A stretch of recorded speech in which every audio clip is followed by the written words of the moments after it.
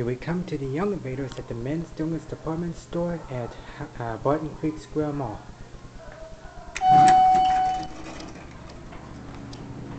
To two.